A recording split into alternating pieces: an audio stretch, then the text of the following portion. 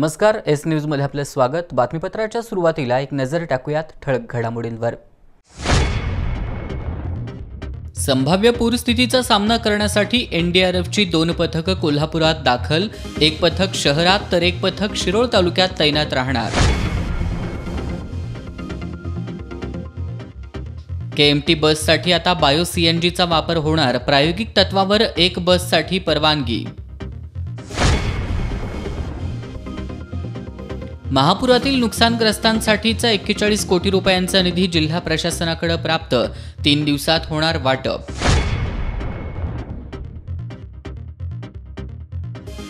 कोल्हापूर जिल्ह्यात आज एकाच दिवशी शंभरहून अधिक कोरोना पॉझिटिव्ह रुग्ण तर काल रात्रीपासून जिल्ह्यातील पाच जणांचा कोरोनामुळे मृत्यू.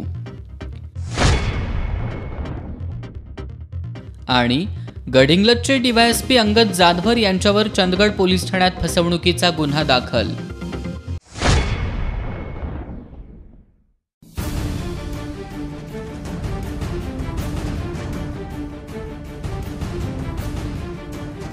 राजकारणाची खबरबात समाजकारणाचा मागोवा. कला क्रीडा मनोरंजन शेती उद्योग. कुठं काय घडलंय बिघडलंय बातमीला योग्य न्याय देणारा. कोल्हापूरचा बुलंद आवाज.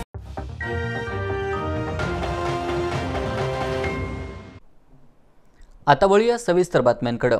मराठा आरक्षण प्रश्नी आज बुधवारी सर्वोच्च न्यायालयात सुनावणी झाली. मराठा आरक्षणावर तुर्तास अंतरिम आदेश न्यायालयानं दिलेला नाही. आता पुढील सुनावणी सत्तावीस जुलैला होणार आहे. मराठा आरक्षणानुसार देण्यात आलेल्या वैद्यकीय पदव्युत्तर अभ्यासक्रमाच्या प्रवेशाला आव्हान देणाऱ्या याचिकेवर आज सर्वोच्च न्यायालयात सुनावणी झाली. याचिकाकर्ते गुणवंत सदावर्ते यांनी या आरक्षणाला अंतरिम स्थगिती देण्याची मागणी केली. मात्र आजच्या सुनावणीत मराठा समाजाला मोठा दिलासा मिळालाय. सुनावणीत न्यायालयानं कोणताही अंतरिम आदेश दिलेला नाही. न्यायालयात आरक्षणाला कुठल्याही प्रकारची स्थगिती मिळाली नाही. आता सत्तावीस अठ्ठावीस आणि एकोणतीस जुलै रोजी अंतिम सुनावणी होणार आहे. कोरोना संकटामुळे बारावी परीक्षेचा निकाल जाहीर करण्यात विलंब होत होता. निकालाच्या तारखेबाबत विद्यार्थ्यांबरोबर पालकांमध्ये उत्सुकता होती. मागील काही दिवसांपासून सोशल मीडियावरून निकालाच्या खोट्या तारखा व्हायरल झाल्या होत्या. शिक्षण मंत्री वर्षा गायकवाड यांनी गेल्याच आठवड्यात निकालाच्या संभाव्य तारखांची घोषणा केली होती. त्यानुसार फेब्रुवारी मार्च दोन हजार वीस रोजी घेण्यात आलेल्या बारावीच्या परीक्षेचा निकाल उद्या दुपारी एक वाजता ऑनलाईन जाहीर होणार आहे. शिक्षण मंडळानं आज याबाबतची अधिकृत घोषणा केली आहे. आर्थिक संकटात असलेल्या के एम टीनं डिझेलवरील खर्च वाचवण्यासाठी बायो सी एन जीवर चालणाऱ्या बस तयार करण्याचं ठरवलंय. प्रायोगिक तत्वावर डिझेल आणि बायो सी एन जीवर धावणारी एक बस तयार करायला परिवहन समितीनं मंजुरी दिली आहे. एक महिन्याच्या चाचणीनंतर जिल्हा नियोजन मंडळाच्या नाविन्यपूर्ण योजनेअंतर्गत अशा तीस बस बायो सी एन जीवर चालवण्यात येणार आहेत. केएमटी बसची संख्या वाढली नाही तर प्रवासी वाढणार नाहीत आणि उत्पन्नही वाढणार नाही. महानगरपालिकेकडं नवीन बस खरेदी करण्याइतपत पैसे नाहीत. यातून निर्माण झालेल्या आर्थिक कोंडीतून मार्ग काढण्यासाठी सरकारच्या माध्यमातून नवीन बस खरेदी करण्याचा प्रयत्न चालवला होता. केंद्र सरकारकडून इलेक्ट्रिक बस मिळवण्याचा प्रयत्न सुरू होता पण त्याला यश आलं नाही. त्यानंतर बायो सीएनजीवर चालणारी बस तयार करण्याचा विचार सुरू केलाय. केएमटीकडील बहुतांश बस जुन्या असून एक लिटर डिझेलमधून त्या साडेतीन किंवा पावणेचार किलोमीटर धावत आहेत त्यामुळे त्यांच्यावर डिझेलचा मोठा खर्च होतो. तुलनेने उत्पन्न कमी मिळत असल्यानं तोटा होतोय. हे टाळण्यासाठी बायो सी एन जी या नवीन प्रकारच्या इंधनावर बस चालवल्यास खर्च कमी होईल असा प्रस्ताव केएमटीकडं एका कंपनीने सादर केलाय. त्याचा विचार करून प्रायोगिक तत्वावर एक बस रूपांतरित करण्याचा निर्णय परिवहन समितीनं घेतलाय. डिझेलबरोबरच बायो सीएनजी इंजिन बसमध्ये बसवल्यानंतर या इंधनातून प्रत्येक बस चार किलोमीटर धावेल. या इंधनाचा प्रति लिटरचा दर डिझेलपेक्षा बारा ते पंधरा रुपये कमी आहे. केएमटीच्या शंभर बसेस रस्त्यावर धावल्यास दररोज सात हजार लिटर डिझेल लागतं. नवीन इंधनामुळे दररोज किमान चौऱ्याऐंशी हजार रुपयांची बचत होऊ शकते. ही बस पंधरा ते वीस दिवसात रूपांतरित होईल पण त्यानंतर सरकारकडून परवानगी घ्यायला वेळ लागेल. सर्व परवानगी मिळाल्यानंतर ही बस महिनाभर वापरण्यात येणार आहे. चांगले परिणाम मिळाल्यास किमान तीस बसेस रूपांतरित करण्यात येतील. त्यासाठी जिल्हा नियोजन मंडळाकडून निधी उपलब्ध केला जाणार असल्याचं परिवहन सभापती प्रतिज्ञा उत्तुरे यांनी सांगितलं. सी एन जी बसेस आपण के एम टीसाठी उपयुक्त ठरतील. आणि त्या धर्तीवरती आपण परवाच्या गेल्या मिटिंगमध्ये एक ठराव पास केला आहे. ज्यामध्ये प्रायोगिक प्रायोगिक तत्वावरती एक बस आपण सी एन जी करून बघणार आहोत. ज्यामध्ये ड्युएल इंजिन असेल आणि यामुळे याचा फायदा आपल्याला असा होणार आहे की इंधनाची जी बचत होणार आहे डिझेलवरचा जो खर्च आहे त्या मानाने सी एन जीच्या बसेसला आपल्याला खर्च वाचणार आहे. एक दोन तीन लाखाचा फरक यामध्ये आपल्याला पडतो आहे.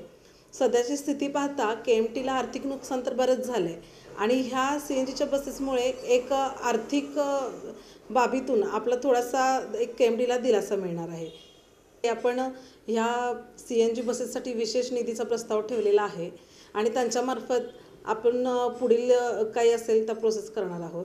ही पहिली बस जर आपण एका एक दीड महिन्यात ही ब- बस जेव्हा आपल्याला मिळेल त्याचा एक प्रयोग करून आपण बघणार. आणि हे जर यशस्वी होत असेल तर पुढच्या बसेसचं नियोजन सी एन जी करण्यासंदर्भातलं आपण पुढच्या टप्प्यामध्ये घेणार आहोत. गेल्या काही दिवसांपासून सुरू असलेल्या पावसामुळे जिल्ह्यातील धरणांचा पाणीसाठा एकूण क्षमतेच्या निम्म्यापेक्षा अधिक झालाय. कोल्हापूर शहर आणि परिसरात पावसाची उघडी बसली तरी धरण क्षेत्रात चांगला पाऊस होतोय. आज सायंकाळी पंचगंगा नदीची राजाराम बंधाऱ्याच्या ठिकाणची पाणी पातळी सोळा फूट सहा इंच इतकी होती. गेल्या काही दिवसांपासून पावसानं बऱ्यापैकी उघडीप दिली आहे. मात्र जूनच्या पहिल्या आठवड्यात झालेल्या जोरदार पावसामुळं जिल्ह्यातील धरणांच्या पाणी पातळीत वाढ झाली आहे. राधानगरी वारणा दूधगंगा तुळशी कुंभी कासारी ही धरणं पन्नास टक्क्यांहून अधिक भरली आहेत. कोदे जांभरे आणि घटप्रभा ही धरणं शंभर टक्के भरली आहेत. जिल्ह्यात आज सकाळी आठ वाजता संपलेल्या चोवीस तासात सर्वाधिक एकोणसाठ मिलीमीटर पाऊस गगनबावडा तालुक्यात झालाय.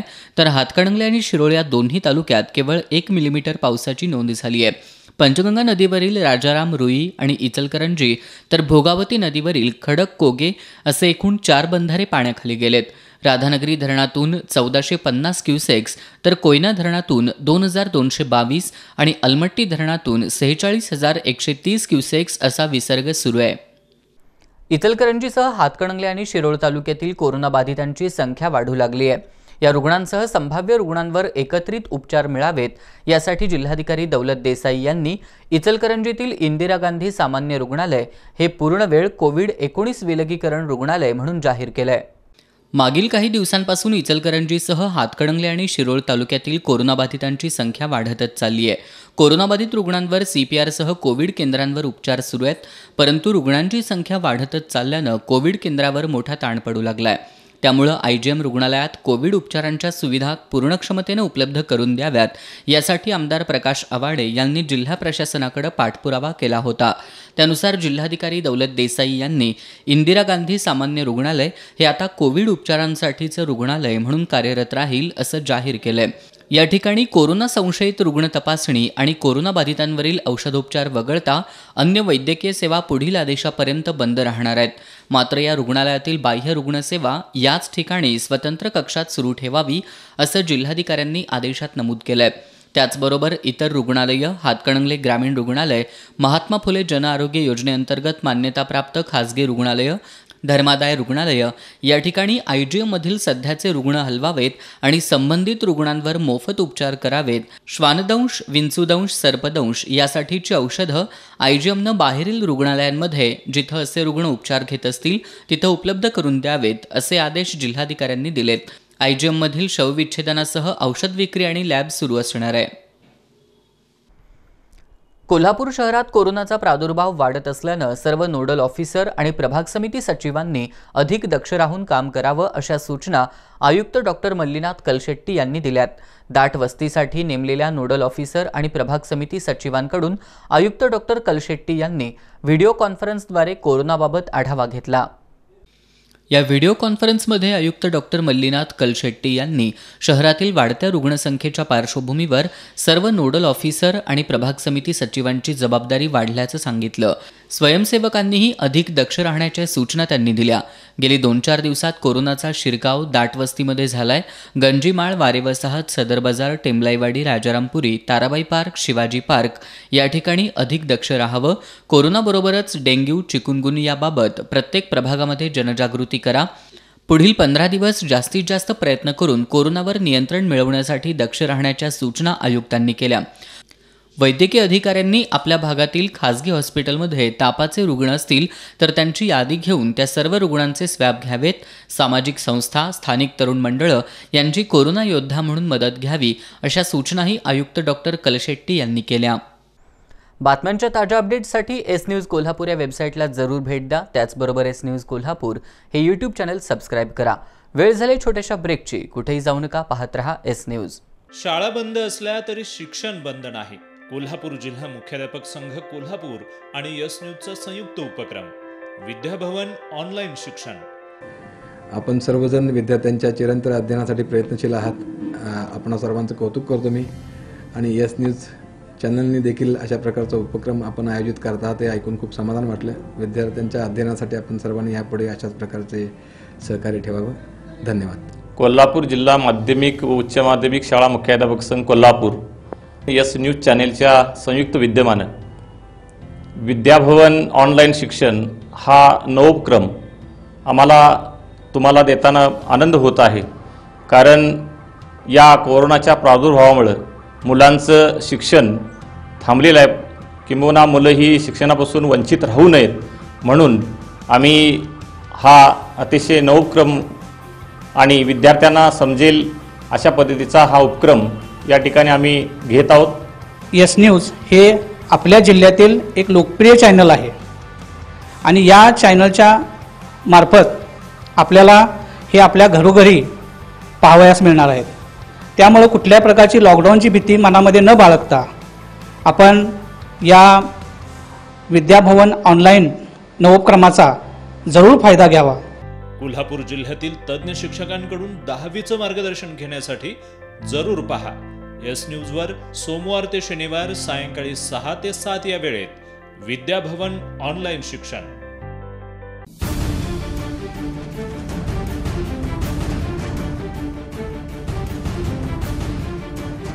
राजकारणाची खबरबात समाजकारणाचा मागोवा. कला क्रीडा मनोरंजन शेती उद्योग. कुठं काय घडलंय बिघडलंय बातमीला योग्य न्याय देणारा.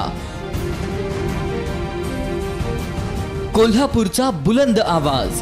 S news Kolhapur. सदैव तुमच्यासोबत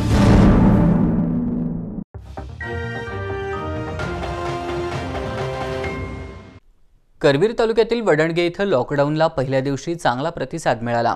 गावात कोरोनाचा शिरकाव होऊ नये यासाठी खबरदारी म्हणून गाव तीन दिवस लॉकडाऊन करण्यात आलंय.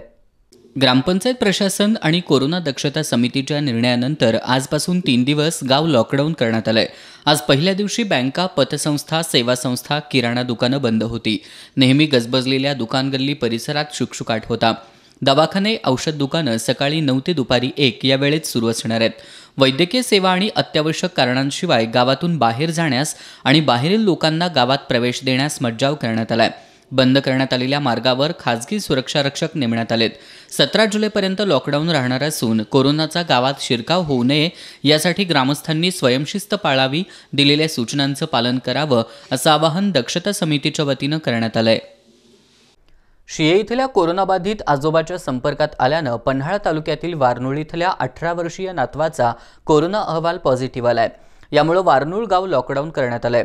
दरम्यान या तरुणाच्या संपर्कात आलेल्यांचे स्वॅब चाचणीसाठी घेण्यात आलेत. वारनूळ इथल्या तरुणाचं शिये हे आजोळ आहे. त्याचे शिये इथले आजोबा कोरोनाबाधित आढळलेत. या आजोबांच्या सेवेसाठी थांबलेल्या या तरुणालाही कोरोनाचा संसर्ग झालाय. या तरुणाच्या घरातील आठ जणांचे स्वॅब घेण्यात आलेत. दरम्यान गावात कोरोनाबाधित रुग्ण आढळल्यानं वारनूळमधील सर्व व्यवहार बंद ठेवण्यात आले असून गावात औषध फवारणी करण्यात आली आहे. चौदाव्या वित्त आयोगातील दोन लाख एक्क्याण्णव हजार रकमेचा अपहार केला नसून ही रक्कम गावच्या विकासासाठी खर्च केली असल्याचा खुलासा म्हालसवडेच्या सरपंच अलका पाटील यांनी पत्रकार बैठकीत केला. ग्रामपंचायत सदस्या प्रभा शंकर पाटील यांनी या रकमेत अपहार झाल्याचा आरोप केला होता. त्यावर आज सरपंचांनी माध्यम प्रतिनिधींसमोर याबाबत खुलासा केला. म्हालसवडेच्या सरपंच अलका पाटील यांनी चौदाव्या वित्त आयोगाच्या निधीमध्ये दोन लाख एक्क्याण्णव हजारांचा अपहार केल्याचा आरोप सदस्या प्रभा पाटील यांनी केला होता. मात्र सरपंच अलका पाटील यांनी माध्यमांशी बोलताना हा आरोप फेटाळून लावलाय.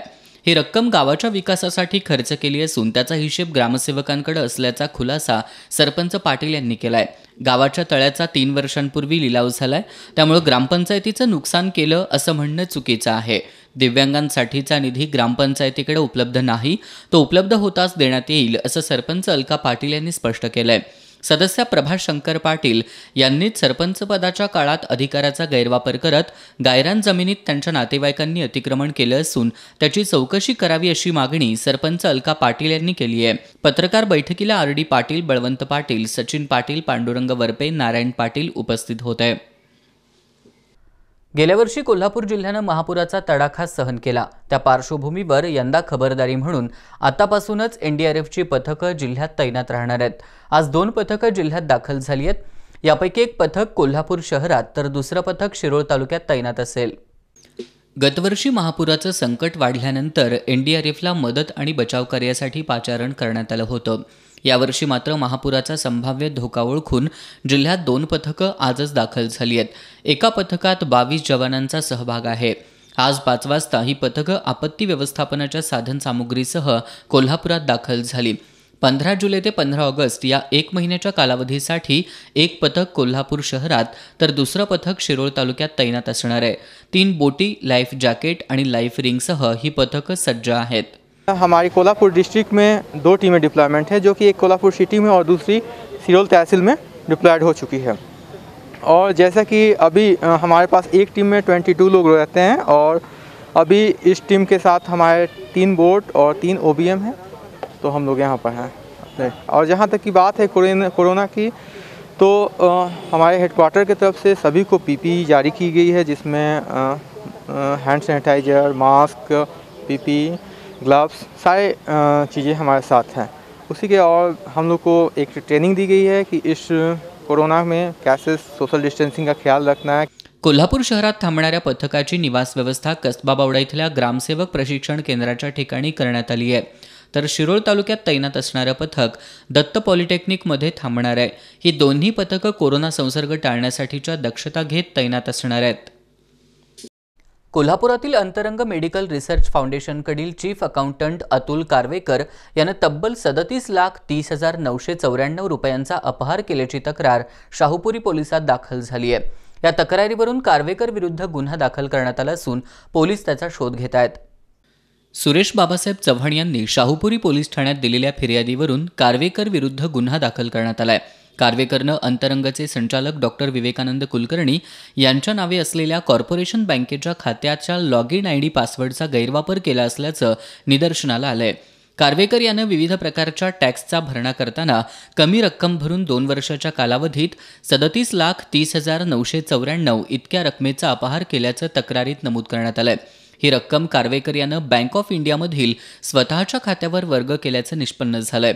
अपहार उघडकीस येण्याच्या भीतीनं अतुल कारवेकर परागंदा झाला असून पोलीस त्याचा शोध घेत आहेत. बातम्यांच्या ताज्या अपडेट्ससाठी एस न्यूज कोल्हापूर या वेबसाईटला जरूर भेट द्या. त्याचबरोबर एस न्यूज कोल्हापूर हे यूट्यूब चॅनल सबस्क्राईब करा. वेळ झाली छोट्याशा ब्रेकची. कुठेही जाऊ नका पाहत रहा एस न्यूज. शाळा बंद असल्या तरी शिक्षण बंद नाही. कोल्हापूर जिल्हा मुख्याध्यापक संघ कोल्हापूर आणि यस न्यूजचा संयुक्त उपक्रम. विद्याभवन ऑनलाईन शिक्षण. आपण सर्वजण विद्यार्थ्यांच्या चिरंतर अध्ययनासाठी प्रयत्नशील आहात. आपण सर्वांचं कौतुक करतो मी. आणि यस न्यूज चॅनलनी देखील अशा प्रकारचा उपक्रम आपण आयोजित करत आहात हे ऐकून खूप समाधान वाटलं. विद्यार्थ्यांच्या अध्ययनासाठी आपण सर्वांनी यापुढे अशाच प्रकारचे सहकार्य ठेवावं. धन्यवाद. कोल्हापूर जिल्हा माध्यमिक व उच्च माध्यमिक शाळा मुख्याध्यापक संघ कोल्हापूर यस न्यूज चॅनेलच्या संयुक्त विद्यमानं. विद्याभवन ऑनलाईन शिक्षण हा नवोपक्रम आम्हाला तुम्हाला देताना आनंद होत आहे. कारण या कोरोनाच्या प्रादुर्भावामुळं मुलांचं शिक्षण थांबलेलं आहे. किंबहुना मुलं ही शिक्षणापासून वंचित राहू नयेत. म्हणून आम्ही हा अतिशय नवोपक्रम आणि विद्यार्थ्यांना समजेल अशा पद्धतीचा हा उपक्रम या ठिकाणी आम्ही घेत आहोत. यस न्यूज हे आपल्या जिल्ह्यातील एक लोकप्रिय चॅनल आहे. आणि या चॅनलच्या मार्फत आपल्याला हे आपल्या घरोघरी पाहावयास मिळणार आहेत. त्यामुळं कुठल्या प्रकारची लॉकडाऊनची भीती मनामध्ये न बाळगता आपण या विद्याभवन ऑनलाईन नवोपक्रमाचा जरूर फायदा घ्यावा. कोल्हापूर जिल्ह्यातील तज्ज्ञ शिक्षकांकडून दहावीचं मार्गदर्शन घेण्यासाठी जरूर पहा. एस न्यूजवर सोमवार ते शनिवार सायंकाळी सहा ते सात या वेळेत विद्याभवन ऑनलाईन शिक्षण. घडलंय तेच दाखवणार. घटनेमागची सत्यता शोधणारं. प्रत्येक बातमीला न्याय देणारं. एस न्यूजचं नऊचं बातमीपत्र. एस न्यूज कोल्हापूर सदैव तुमच्यासोबत.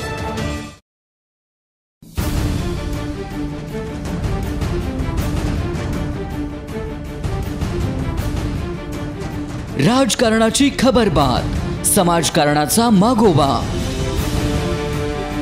कला क्रीडा मनोरंजन शेती उद्योग. कुठं काय घडलंय बिघडलंय? बातमीला योग्य न्याय देणारा. कोल्हापूरचा बुलंद आवाज. S news Kolhapur. सदैव तुमच्यासोबत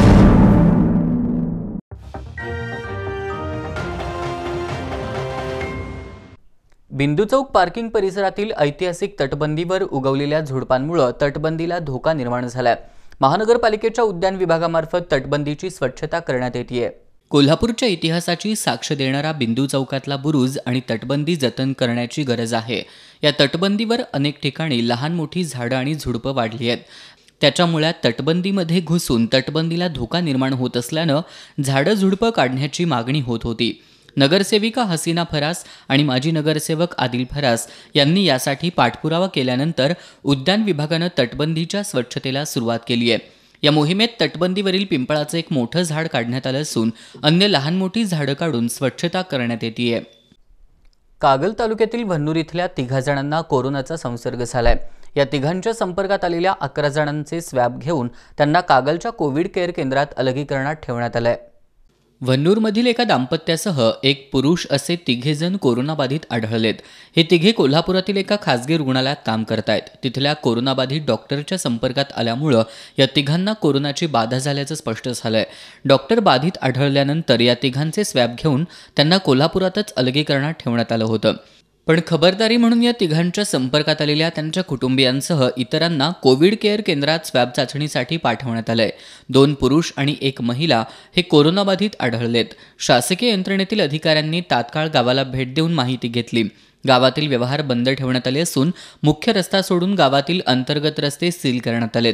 ग्रामपंचायत तसंच आरोग्य विभागाच्या वतीनं औषध फवारणी करण्यात येते आहे ग्रामपंचायत पदाधिकारी दक्षता समितीचे सदस्य पोलीस पाटील ग्रामसेवक ग्रामपंचायत कर्मचारी आणि आरोग्य कर्मचारी गावात संसर्ग वाढू नये यासाठी दक्षता घेत आहेत. कागलमधील जयसिंगराव पार्क इथं वानरांच्या दोन गटांमध्ये तुंबळ मारामारी झाली. यामध्ये एक पिल्लू गंभीर जखमी झालं. त्याला स्थानिकांनी उपचारासाठी पशुवैद्यकीय दवाखान्यात दाखल केलं. जयसिंगराव पार्कमध्ये वानरांचे दोन गट तयार झालेत. एकमेकांच्या हद्दीत येण्यावरून त्यांच्यात वाद सुरू असतात. असाच वाद होऊन नुकतीच दोन गटांमध्ये तुंबळ मारामारी झाली. यामध्ये एक पिल्लू रामचंद्र पाटील यांच्या जिन्यावर येऊन जखमी अवस्थेत पडलं. त्याला मारुती पाटील आणि ओंकार प्रसाद या तरुणांनी पशुवैद्यकांकडे नेलं. या पिल्लावर शस्त्रक्रिया करावी लागली आहे. इथल्या जाणता राजा मित्रमंडळाच्या कार्यकर्त्यांनी या पिलाचा सांभाळ करण्याची जबाबदारी घेतली आहे. त्यांनी या जखमी पिलाला एका सापळ्यात ठेवलंय. खोटी आणि बनावट कागदपत्र तयार करून जमीन हडप केल्याप्रकरणी गडिंग्लजचे पोलीस उपअधीक्षक अंगद जाधवर यांच्यासह चार जणांवर चंदगड पोलीस ठाण्यात गुन्हा दाखल झालाय. डीवायएसपी दर्जाच्या पोलीस अधिकाऱ्यावर फसवणुकीचा गुन्हा दाखल झाल्यानं जिल्ह्यात खळबळ उडाली आहे. चंदगड तालुक्यातील हंबिरे गावातील लक्ष्मण तांबळकर आणि गडिंग्लजचे पोलीस उपअधीक्षक अंगद जाधवर यांची ओळख आहे. तांबाळकर यांनी खरेदी केलेल्या जमिनीचे जाधवर यांच्यासह गणेश फाटक श्रीशैल नागराळ मारुती गुरव आणि मारुती कांबळे यांनी खोटे खरेदीपत्र तयार करून जमीन हडपल्याची फिर्याद तांबाळकर यांनी चंदगड पोलीस ठाण्यात दिली आहे. अंगद जाधवर यांनी या जमिनीशी तुझा संबंध नाही असं सांगून जीवे मारण्याची धमकी दिल्याचं फिर्यादीत नमूद करण्यात आलंय. या फिर्यादीवरून चंदगड पोलिसांनी गडिंग्लजचे पोलीस उपअधीक्षक अंगद जाधवर यांच्यासह चार जणांवर गुन्हा दाखल केलाय. यातील गणेश फाटक याच्यावर चंदगड पोलीस ठाण्यात फसवणुकीचे तीन गुन्हे दाखल आहेत. कोल्हापूर जिल्ह्यात गेल्या काही दिवसांपासून दर दिवशी पन्नासहून अधिक नव्या पॉझिटिव्ह रुग्णांची भर पडतीये. आज सायंकाळी रुग्णवाढीचं प्रमाण आणखी वाढलं. मंगळवारी रात्री आठ वाजल्यापासून आज रात्री आठ वाजेपर्यंत जिल्ह्यातील पाच जणांचा कोरोनामुळे मृत्यू झालाय. कोल्हापूर जिल्ह्यात आज कोरोनानं अक्षरशः कहरच केला. कोरोनाबाधित रुग्णसंख्येत विक्रमी संख्येनं वाढ होताना शंभरी उलटली गेली. सकाळी दहापूर्वी रुग्णसंख्या सतरानं वाढली होती. दहानंतर मात्र या संख्येत सतत वाढ होत गेली. पंचवीस सात पंधरा तीन बारा वीस आणि बत्तीस अशा क्रमानं सकाळी दहा ते रात्री आठ या वेळेत जिल्ह्यात तब्बल एकशे चौदा कोरोनाबाधित रुग्ण आढळून आले. कोल्हापूर शहरातील टिंबर मार्केट वारे वसाहत करवीर तालुक्यातील गांधीनगर इचलकरंजी चंदगड तालुक्यातील तांबुळवाडी या ठिकाणी पॉझिटिव्ह रुग्णांच्या संख्येत विक्रमी वाढ झाली. वारे वसाहतीत नऊ कोरोनाबाधित रुग्ण आढळले तर इचलकरंजीत सत्तावीस टिंबर मार्केटमध्ये चौदा तांबुळवाडीत दहा रुग्ण रात्री आठपर्यंत आढळले. दिवसभरात तब्बल एकशे चौदा रुग्णसंख्या ही कोल्हापुरातील आत्तापर्यंतची विक्रमी वाढ ठरली आहे. यापूर्वी एकोणतीस मे रोजी अडुसष्ट कोरोनाबाधित रुग्ण आढळले होते. आजच्या रुग्णसंख्येच्या वाढीमुळे जिल्ह्यातील एकूण कोरोनाबाधित रुग्णांची संख्या तब्बल पंधराशे पंधरा इतकी झाली आहे आज वीस रुग्णांना बरे झाल्यानं डिस्चार्ज देण्यात आला. रुग्णांच्या वाढत्या संख्येमुळे जिल्ह्यात चिंतेचं वातावरण असून नागरिकांनी सतर्क राहून आवश्यक त्या खबरदारी घेणं गरजेचं आहे. इचलकरंजीतील कोरोनाची शृंखला अद्यापही अखंडितच असून मंगळवारी गणेशनगरमधील एकाच कुटुंबातील नऊ जणांसह एकवीस जणांचा तर बुधवारी सकाळच्या सत्रात डॉक्टर कुटुंबातील चौघांसह सहा जणांचा कोरोनाचा चाचणी अहवाल पॉझिटिव्ह आलाय.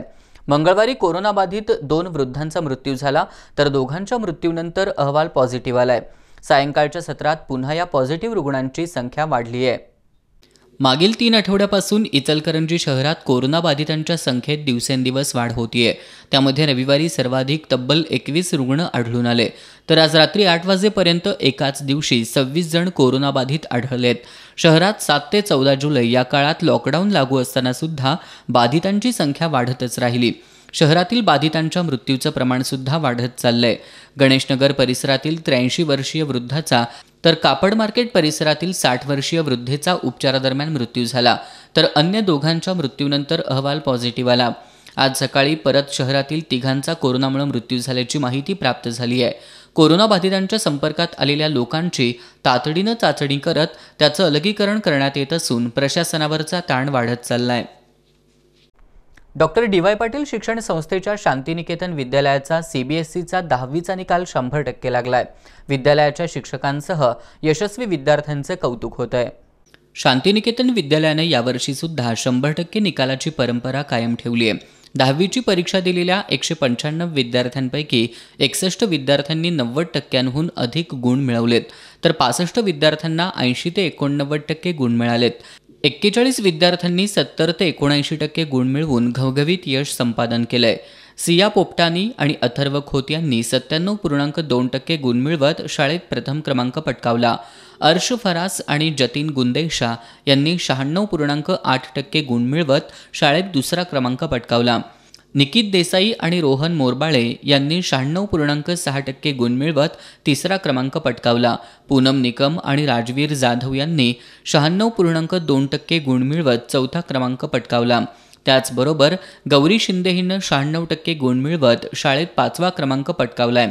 शांतिनिकेतन विद्यालयाच्या दहावीच्या विद्यार्थ्यांनी उत्तीर्ण होत शंभर टक्के निकालाची परंपरा कायम राखल्यामुळं सर्व स्तरातून विद्यार्थ्यांचं आणि शिक्षकांचं कौतुक होत आहे या यशस्वी विद्यार्थ्यांना शिक्षण संस्थेचे chairman doctor Sanjay D. Patil संचालिका सौभाग्यवती राजश्री काकडे कार्यकारी संचालक करण काकडे यांचं प्रोत्साहन तर प्राचार्या सौभाग्यवती जयश्री जाधव उपप्राचार्या मीनाक्षी पाटील आणि सर्व शिक्षक शिक्षिकांचं मार्गदर्शन लाभलं. कोल्हापुरातील सदर बाजार परिसरातील एक महिला आपल्या दोन नातवंडांना कुणीतरी पळवून नेले अशी तक्रार घेऊन शाहूपुरी पोलीस ठाण्यात दाखल झाली. पोलिसांनी तात्काळ तपासाची चक्र फिरवली पण या मुलांची आईच त्यांना न सांगता घेऊन गेल्याचं निष्पन्न झालं आणि सगळ्यांनीच सुटकेचा निश्वास टाकला.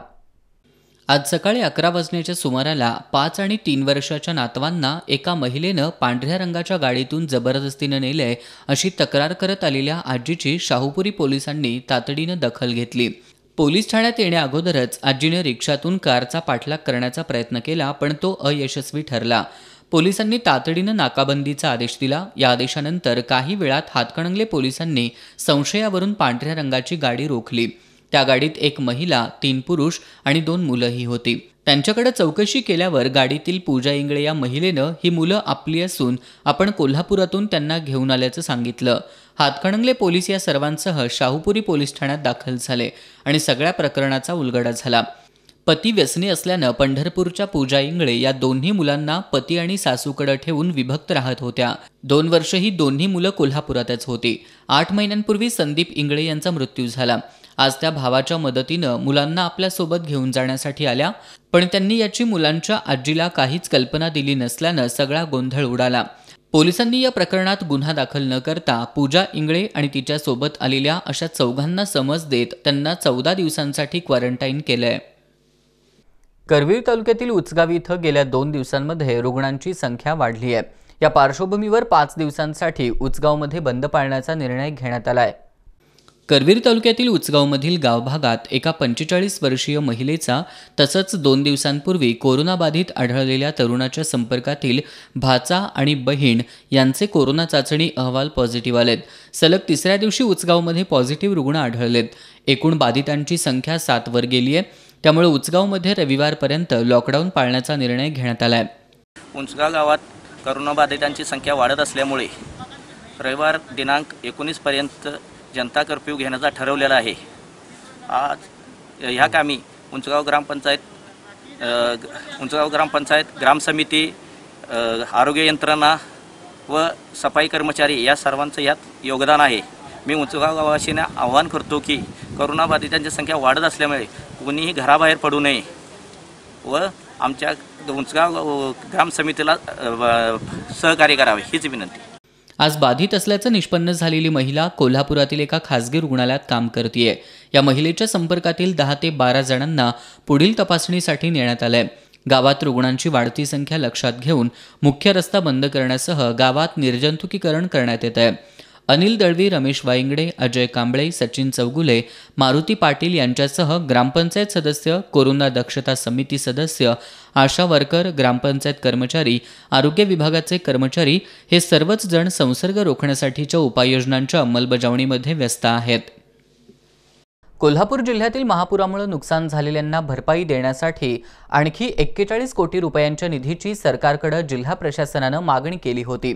हा निधी प्राप्त झाला असून येत्या तीन दिवसांमध्ये नुकसानग्रस्तांच्या खात्यात भरपाईची रक्कम जमा होणार आहे. पूरग्रस्तांना तातडीनं पाच हजार रुपये सानुग्रह अनुदान वाटप करण्यात आलं. जिल्ह्यात एकूण आत्तापर्यंत पूरग्रस्तांना सहाशे कोटी रुपयांच्या भरपाईचं वाटप करण्यात आलं. जिल्हा प्रशासनानं आणखी एक्केचाळीस कोटी रुपयांची मागणी केली होती.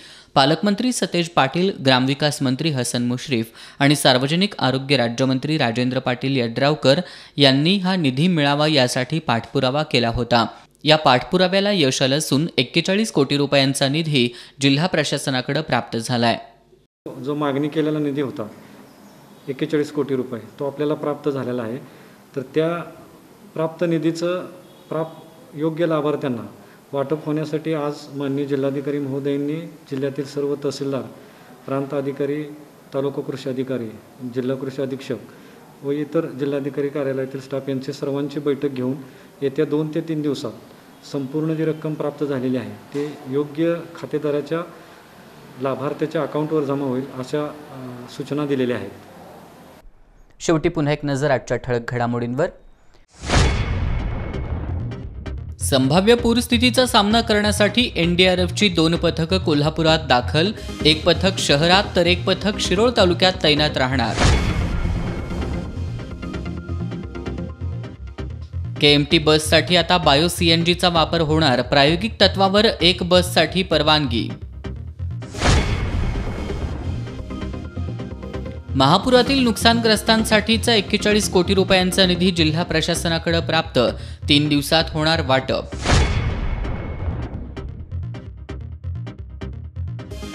कोल्हापूर जिल्ह्यात आज एकाच दिवशी शंभरहून अधिक कोरोना पॉझिटिव्ह रुग्ण तर काल रात्रीपासून जिल्ह्यातील पाच जणांचा कोरोनामुळे मृत्यू.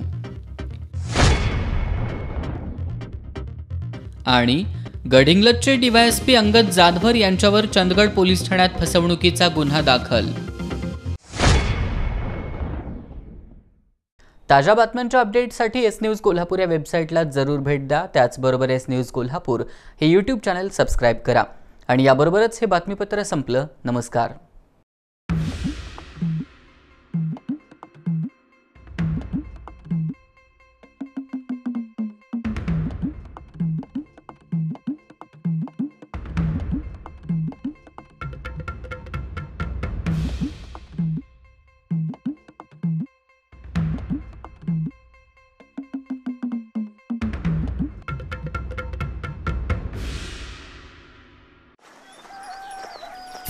अहो सुमीचा फोन आलता. रविवारी जावे बाप्पानी ती आपल्याकडे पहिल्यांदाच राहायला येत अरे वा. वा काय? त्यांना हे असं बाहेर पाठवणं कसं दिसल? आता तरी आपल्याला शौचालय बांधूनच घ्यायला पाहिजे. अरे बापरे. आता तो गवंडी शोधा सिमेंट वाळू विटाणा हे सगळं झंझट कोण करणार? आणि तेही फक्त चार दिवसात? अगं शक्य तरी आहे का ते? अहो ज्यांच्यामुळे गावेच्या गावे हगंदारी मुक्त झाली त्या आविष्कार शौचालयाच्या ऑफिसला फक्त फोन करायचा आणि निवांत राहायचं. असं म्हणतेस? हा. मग आत्ताच फोन करतो. संपूर्ण कॉन्क्रीटचे मजबूत टिकाऊ शौचालय फक्त एकाच दिवसात तयार. तसंच बाथरूम मुतारीही उपलब्ध आहे. आणि मुतारी शौचालय भाड्यानं सुद्धा मिळतील. संपर्क आविष्कार ग्रुप नवीन वाशिनाका कोल्हापूर. फोन अठ्ठ्याण्णव बावीस नव्याण्णव पंचावन्न नव्याण्णव.